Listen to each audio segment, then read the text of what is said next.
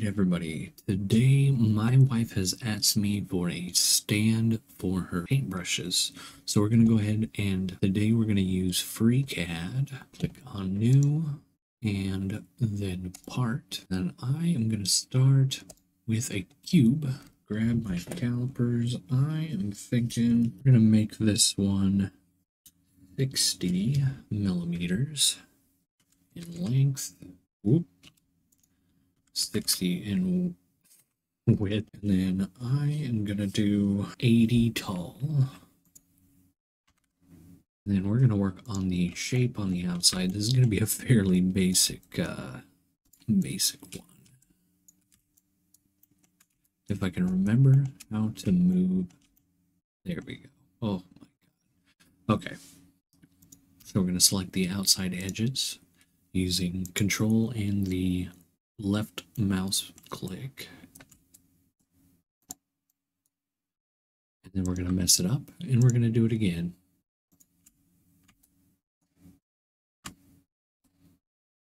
And then shift right click. And then get that last one. now we're going to go ahead and do a fillet first. We're going to do this one at 5 millimeters. And then I'm going to take all of those edges. And then we're going to do a bevel or a chamfer. We're going to do that one at 3 millimeters.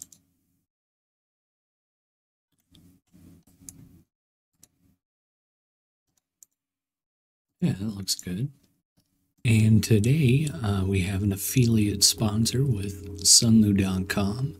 That's S U N L U.com. And if you guys want to save 10% on your order, go ahead and use code W3NQOGCULD. And again, that was W3NQOGCULD or 10% off, they have PLA, PLA Plus, wood, ABS, TPU, pretty much everything you can think of. They even got carbon fiber. They got twinkling PLA. I don't know what that is. They also got resins for resin printers. They got glow in the dark. They've, they've got a ton of different things. And then they also have 3D printers that are pretty good. Haven't used them myself, but I've seen some really good reviews. Uh, and then the filament dryers, I have the S2 myself. Absolutely love it. And yeah, they got a ton of different stuff on here that you can go through and find. Pretty much going to find something for everybody on here for the most part. So don't forget to check out Sunlu. And back to the video. Right, and then we're going to grab this top edge, every single one of them. Nope.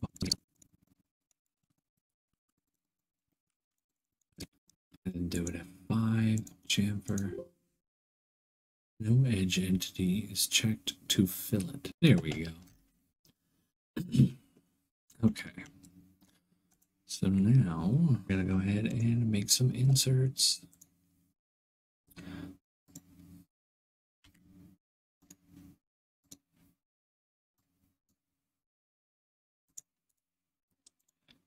Transform.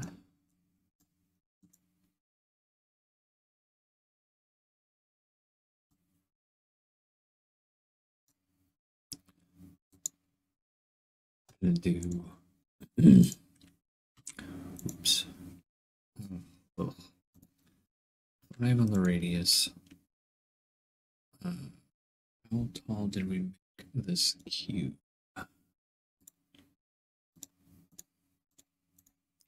So this cube was 80 we'll do 73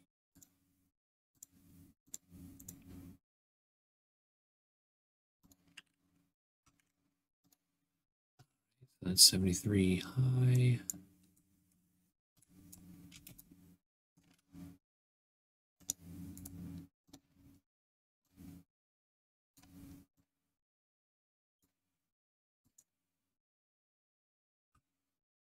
And then we're going to copy and paste.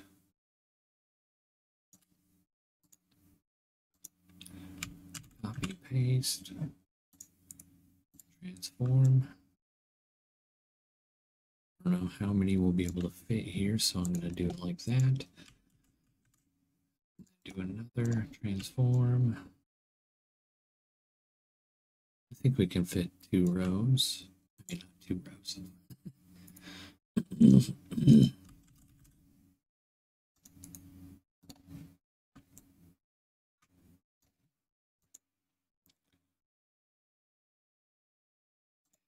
And then we're going to do a cube. And this cube is going to be also 73 high. And first I'm going to actually get this in position. That looks right. Okay. So then the width we're going to make 40. We might change that. Uh, the length, we're going to do six. So we're going to transform that over.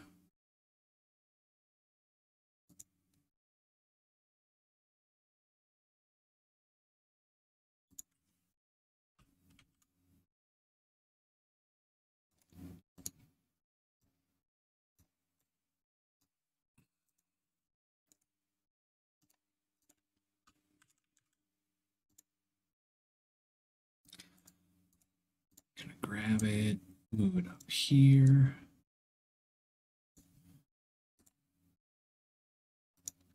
And then the length we're gonna make, ooh, too much, 25. Nope, still too much. We'll make that 20.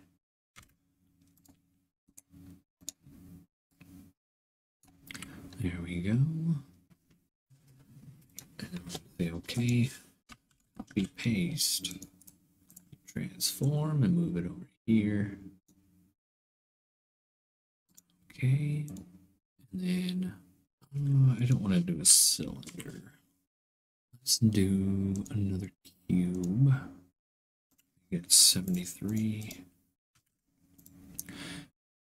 And then five. Transform. Made that six before. Change it to six. Transform, move it over one. All right, that looks pretty useful. pretty much utilized all the space here.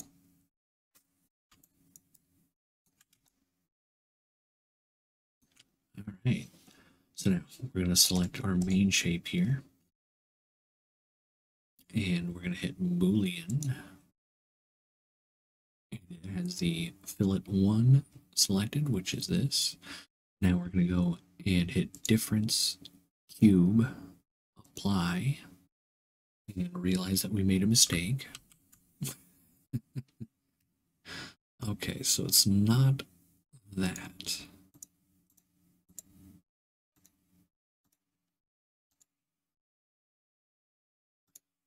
So fillet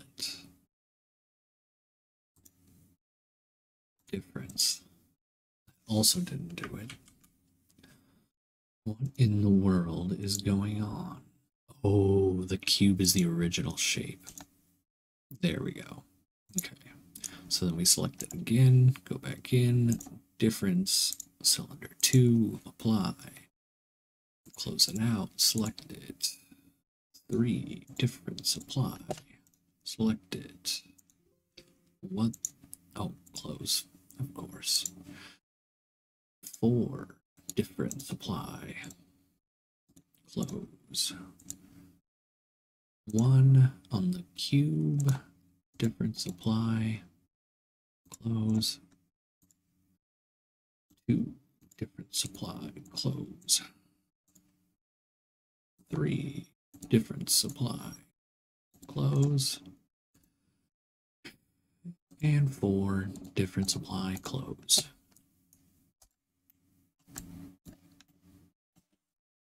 Now if you wanted to, you could do any other shape. It doesn't really matter. Whatever's going to work with what you need. If you have specific tools that you're trying to make a hole for, obviously measure them. Leave like one millimeter difference just so there's a bit of space so it can move around. I'm going to go ahead and grab all of the tops of these. All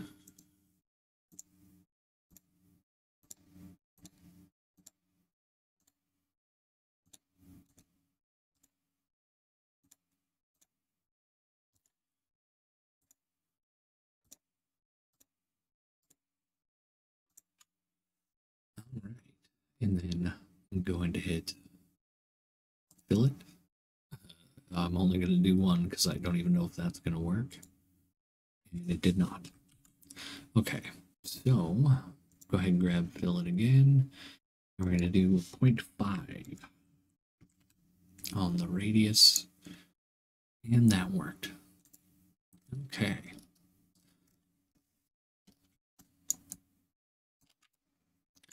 Yeah, I like using FreeCAD for little holders and tool things like this. Definitely works very well. So now I'm going to make sure I have the object selected. And I am going to export.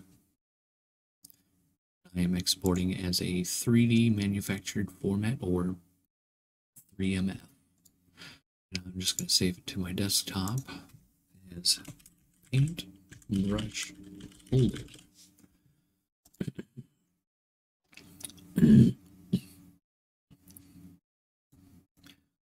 All right. So if you're not following along and you still want this model, I'm going to put it on my Cults page for free. Link will be down in the description. But for those of you that are actually going to be 3D printing and uh, after you model it, continue watching. I mean, honestly, anybody continue watching, I need it.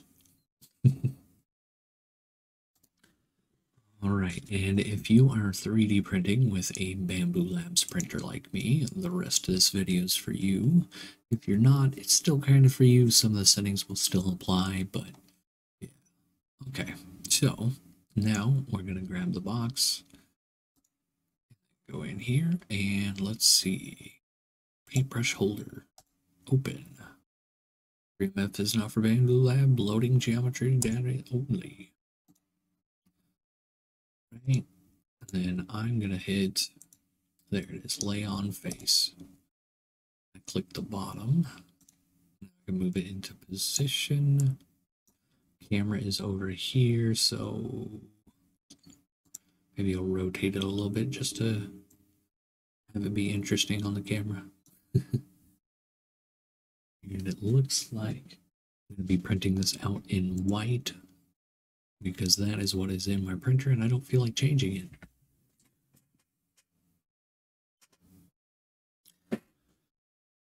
All right.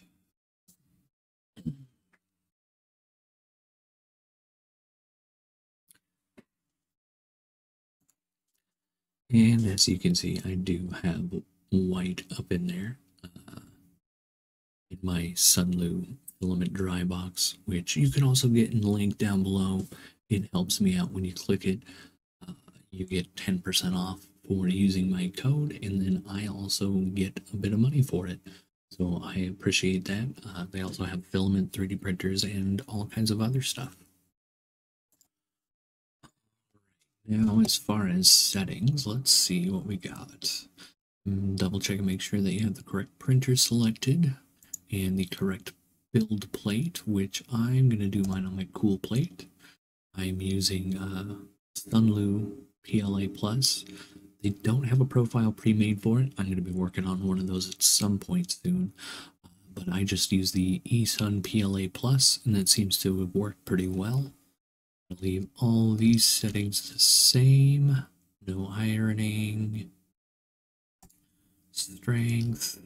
Everything in here looks good. Speed is, I'm not, I don't mess with it. Uh, we don't need any support because all the holes are just straight up, so pretty simple. Just gonna leave all that regular too, and then uh,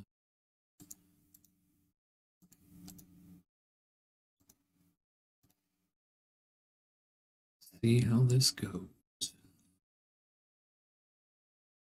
Should be pretty good for. I think she will enjoy it. So I'm gonna go ahead and hit print. Delay. All that. And send.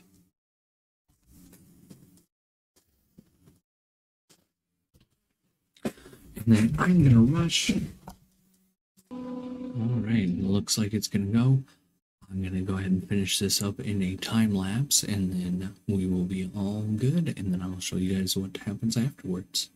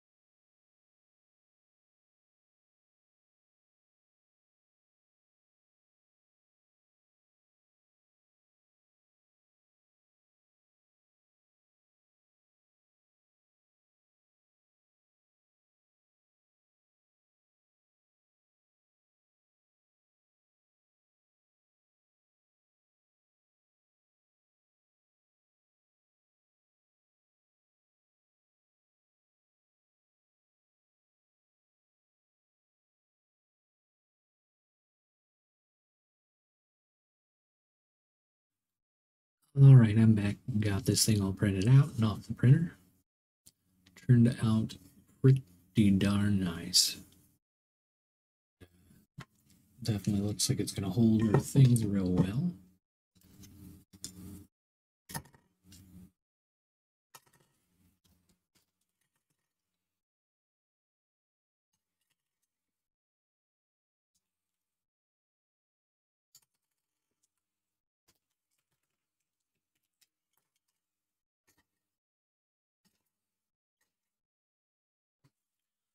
Pretty good. I think she's going to love it.